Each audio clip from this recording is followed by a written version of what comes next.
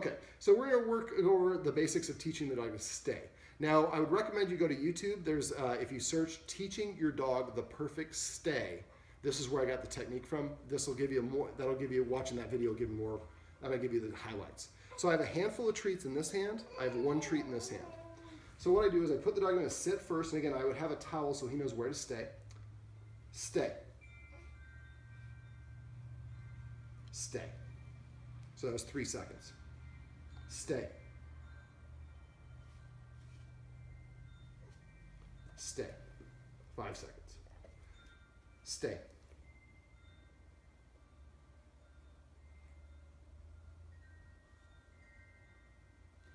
Stay.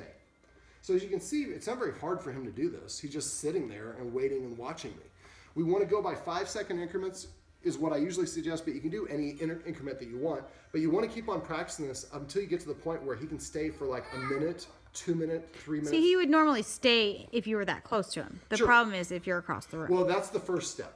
So after we get him, get up to like about three minutes with him staying there, this is the, the, the outline of, of what we want to do. Then what we do is stay. Stay. Stay. Stay.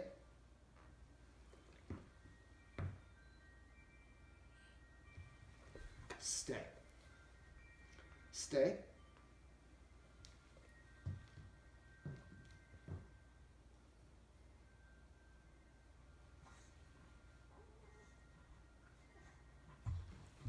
Up.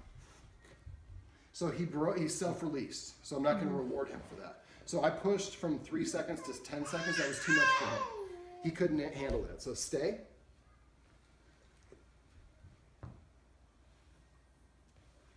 Stay. So that was five seconds. Let's see if we can get up to 10. Stay.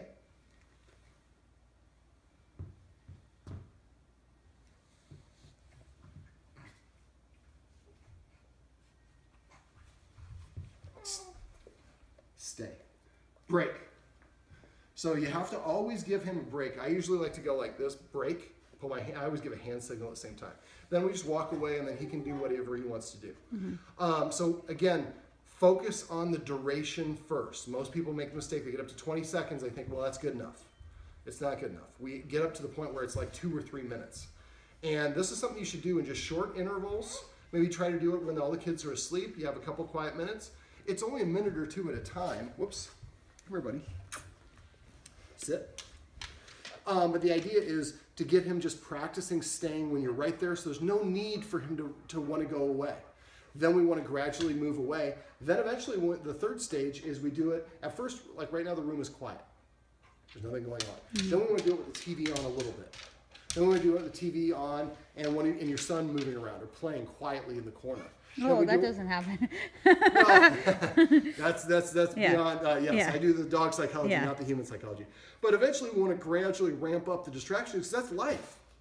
You're gonna have the TV going, and you're gonna have kids crying, and then thing, you know, an argument going in the background. We want him to be able to stay under those circumstances. Now, asking him to go to his uh, to the shack and stay without teaching and helping him practice the stay is putting him in a position to fail. So what I would do is make you guys make a commitment that we're going to practice the stay, both of us, twice a day at least with the dog. And first day, maybe it's just you know a couple, you know, get up to 20 seconds and, and each. Then you get up to 40, and then you get up to a minute. So at the end of the week, you can have him stay while you're right there for both of you, where he's staying for like three minutes. Then when you start stepping away, what I did was was really ab- abbreviated. When I start moving away after we've practiced for a week just staying with the no distance, then it's easy for him. He's already got the, the parameters of what's going on. And then, then we, once we get to the point where it can be several feet away or beyond line of sight, then we start doing it where we start moving away while we build in the distractions. Sit. Sit.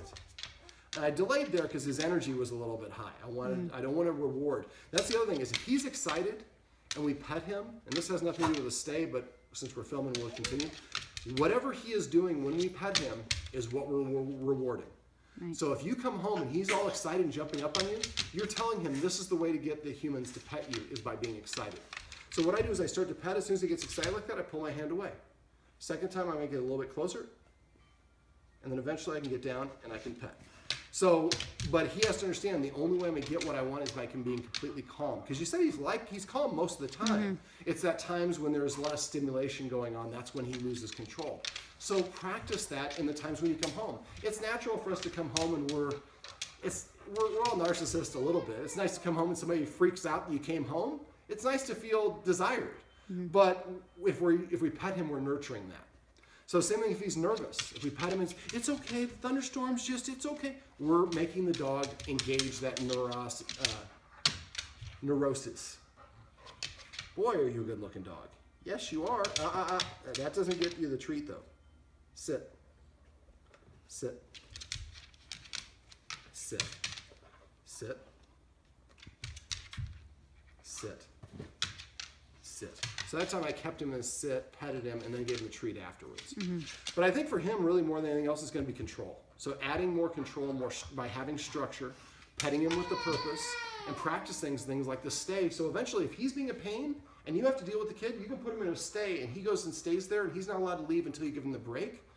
When you establish that, man, that's there's really very very little else that you can have that'll be that'll make you as happy. So that's a summary of how to teach the stay as well as some other steps.